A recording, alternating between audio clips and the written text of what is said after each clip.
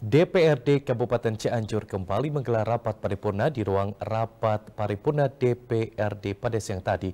Rapat tersebut mengagendakan mendengarkan jawaban eksekutif atas pandangan umum fraksi-fraksi DPRD tentang rancangan anggaran pendapatan belanja daerah tahun anggaran 2019.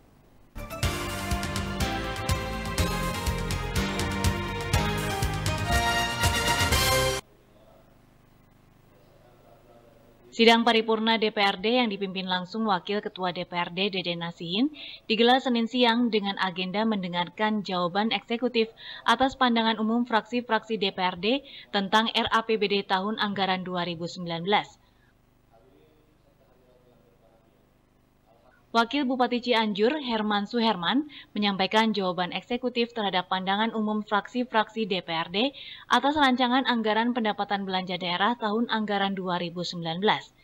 Dalam jawabannya, Wakil Bupati menjelaskan ketidaksesuaian rincian angka dalam penyampaian nota keuangan baik untuk pendapatan belanja maupun pembiayaan merupakan besaran yang diringkas.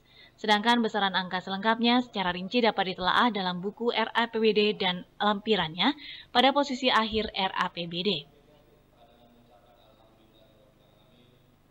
Selain itu dalam penyampaian nota keuangan, ada sumber pendapatan yang mencakup pendapatan asli daerah yaitu pajak daerah, dana perimbangan yang meliputi dana bagi hasil pajak serta alokasi umum dan alokasi khusus, fisik maupun non-fisik. Terkait IPM yang masih ketinggalan dibandingkan kabupaten lain, Herman Suherman menjelaskan pada 2017 indeks pembangunan manusia di Kabupaten Cianjur meningkat.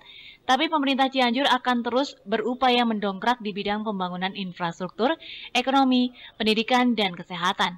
Diharapkan tahun 2019 peringkat IPM Kabupaten Cianjur lebih tinggi lagi.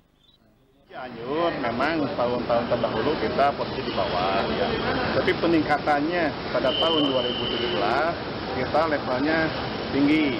Memang masih di bawah, tapi peningkatannya dibandingkan dengan kabupaten yang lain kita di atas oh, gitu. capaiannya. Ya. Terus upaya pemerintah kabupaten yang seperti apa untuk peningkatan? Ya, peningkatannya kita kan tadi di era APBD kita upayakan mendongkrak untuk peningkatan IPM, infrastruktur, ekonomi, pendidikan, kesehatan. Kita dongkrak itu mudah-mudahan seperti yang tahun kemarin kita bisa lebih peningkatannya lebih tinggi.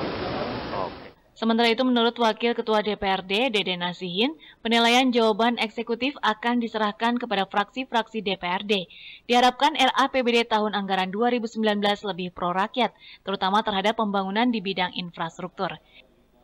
Eh, tadi eksekutif yang diwakili oleh Pak Wakil Bupati telah menjawab semua hal yang disampaikan dalam apa namanya rapat paripurna kemarin yaitu dari masukan-masukan dari fraksi-fraksi yang ada di DPR Cianjur.